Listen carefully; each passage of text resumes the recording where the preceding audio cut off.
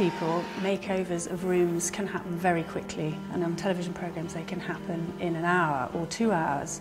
But in the Octagon Room, we've been working on this space for the last 10 years in trying to understand it, unravel its history, do investigations and analysing the paint schemes, the textiles that were in here, the colours, and working out how the second Lord Berwick had it in the Regency period.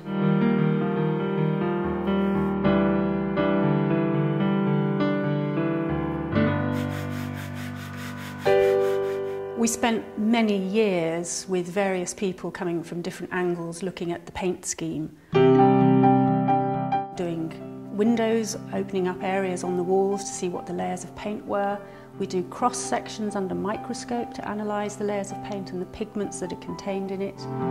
And just looking as much as we can to ally that physical evidence with the documentary evidence that's in Attingham's archive.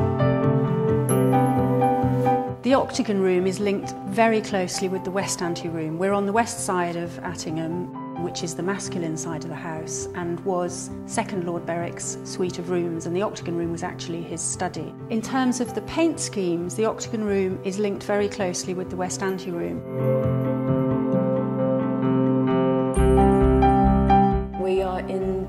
West Anteroom, which is next to the Octagon Room, and I've been uncovering all the paint layers in this room. And this shows all the different layers of paint. I've numbered them all, and I've gone right down to the plaster. So we've got in this room 18 layers, and that includes preparation layers also for some of the paint layers. The reason we're doing this is to try and find the original paint layer or one of the original paint layers that they want to go down to. I think they want to go down to the layer dating 1813. We think it might be this sort of pale grey layer here. It's actually very difficult to get all the layers I actually did another paint scraping on a different wall and I didn't get all the layers. Because some of the layers are very, very thin and some of them are very brittle.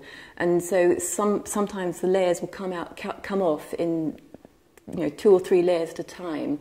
So that's why it's quite useful to use solvents um, because then that will just thin a layer or just carefully remove a layer.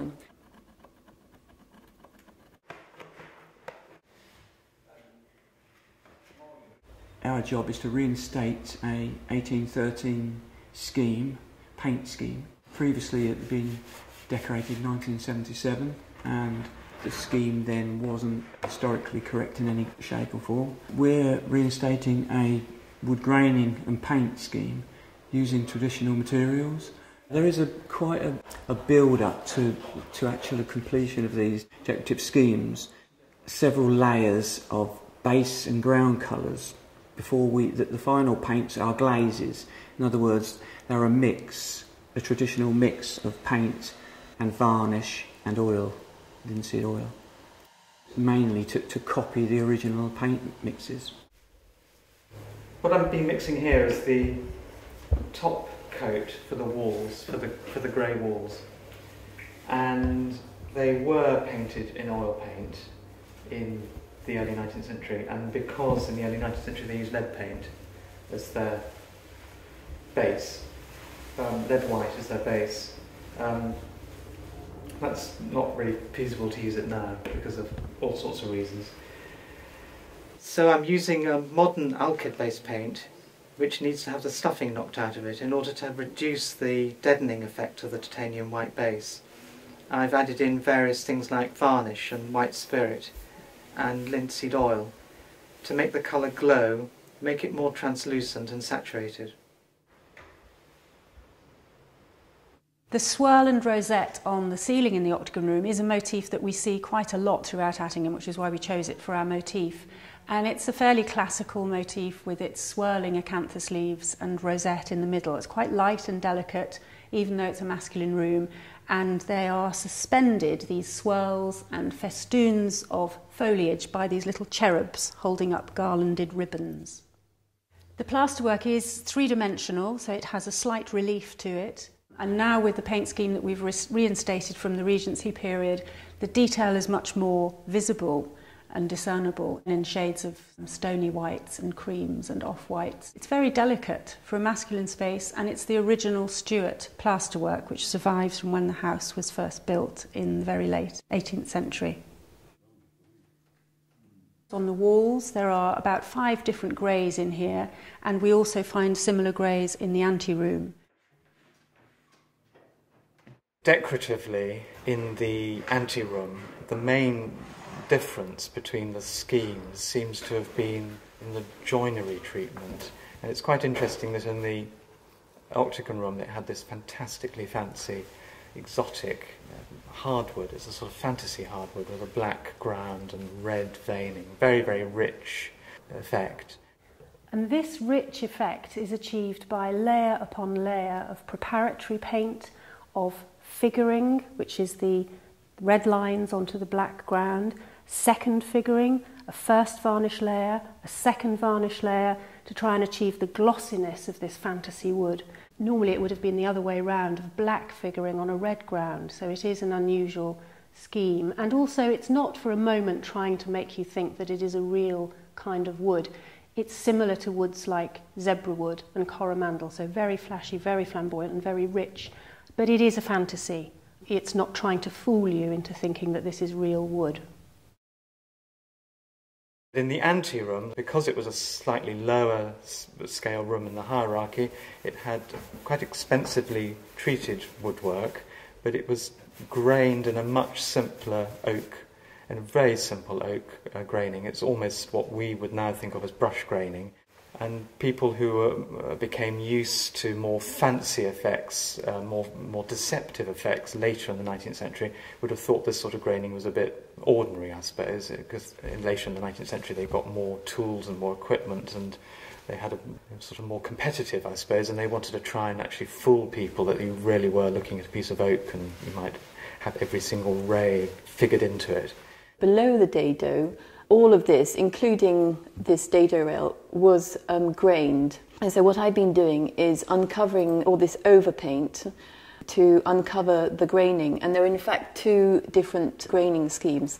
This is the second graining scheme, which I think is a sort of late um, graining scheme, and it's quite dark and it has these black lines in it. And then this is the original graining scheme, which is much lighter. And we think that it's meant to look like oak. We're basically using very pure artist quality pigment in oil and we're thinning it with turpentine and that is pretty well our mixture and we have been playing around trying to get the mixture absolutely right so that it gets this transparent ethereal quality without us working too much and having to work too hard. It's really a question of working quite quickly because you have to, in order to get the, the graining on and for it to look right, it has to be applied very quickly and then worked again very quickly. And you have to be quite sort of deft, I suppose, is the easiest way of putting it. The main thing I'm very obsessed by is just getting every edge crisp and every joint neat. Interestingly, they weren't, the original graining wasn't quite so obsessive, probably. I suppose one of the more interesting bits about Annabelle's uncoverings was in the small lobby that links the uh, anteroom with the octagon room. And it's really quite a small little transitionary space, now blessed with a cupboard and quite low ceilinged, very plain. And it's got a mixture of joinery and plasterwork, as, in, as Nash had inherited from Steuart. As with all these rooms, they're all Steuart bones, and Nash was overlaying his decorative finishes on top. But the whole thing was wood grain. You're walking into a little timber box because it was a little tiny lobby you just walk through. The last stage is the final varnish, which is really giving the the correct sheen apart from anything else. It's, these varnishes are obviously protective, but the, the final varnish has got to give the right sheen. Um, not too glossy, not too matte, just right.